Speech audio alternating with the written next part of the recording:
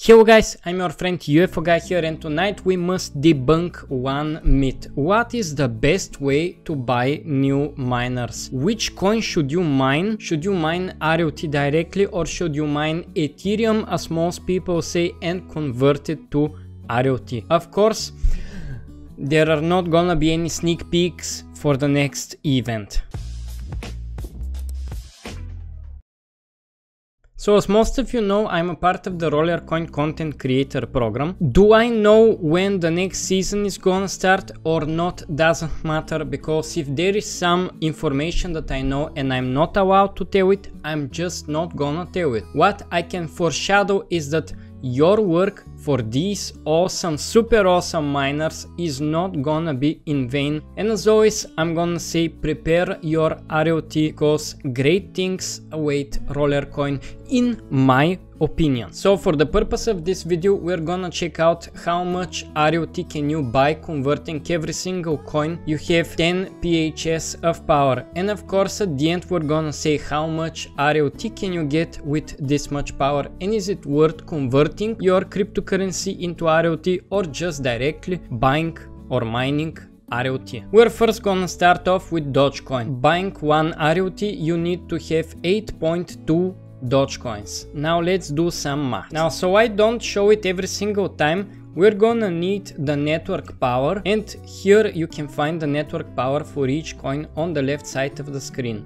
We're gonna copy the Dogecoin mining power and paste it in the best calculator ever. So as I said, we're gonna imagine we have 10 PHS of power for mining each coin and the current block reward for Dogecoin is 20 coins you can see that for one day we are gonna earn 6.31. Now let's see how much RLT is that. For the calculation, I am dividing the amount of Dogecoin that we can mine for one day by the amount needed to buy one RLT. And we get 0.76 RLT for one day of mining Dogecoin with 10 PHS. Next we're gonna go with Polygon aka Matic, a very strong competitor of Ethereum. With this power you're gonna be earning approximately 0.9, we're gonna go with exact numbers, this much Matic per day. You need this much Matic to buy one RLT and you get 1.32 RLT per day, so so far Matic is winning. Next one is BNB, so for one day with this power you're gonna be earning this much BNB and you need 0.0027 BNB per one Ethereum, so let's do the math. So we're gonna be earning 1.23 RLT per day of mining BNB. Next we're gonna go with mining Bitcoin and you need this much Bitcoin to buy one RLT and you're gonna be earning 1545 satoshis per day with this power.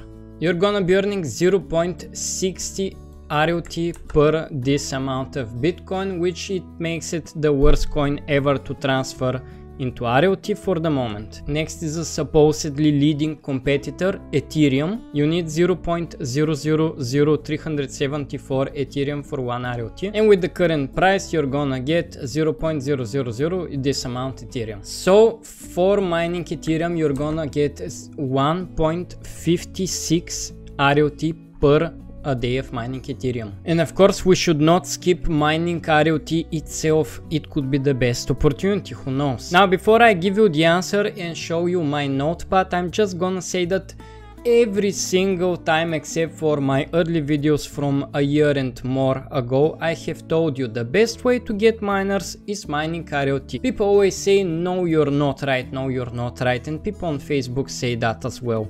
Well let's see if I'm right or am I wrong? According to Roller Buddy, with this amount of power, we're gonna get 1.99 RLT per day of mining RLT. So the conclusion is, as you can see, mining RLT is the best way of buying miners with RLT and you can see that for a day of mining you're gonna get 1.99. Second is Ethereum with 1.56, third is Matic with 1.32, fourth BNB with 1.23 and the worst are Dogecoin and Bitcoin with almost 0.76 and 0.6 RLT per day. I hope this answers many of your questions and I hope you do like this video. Thanks as always for watching, for supporting me by clicking the join button here on YouTube and for smashing the like button and subscribing. I'll see you guys in the next one. Bye.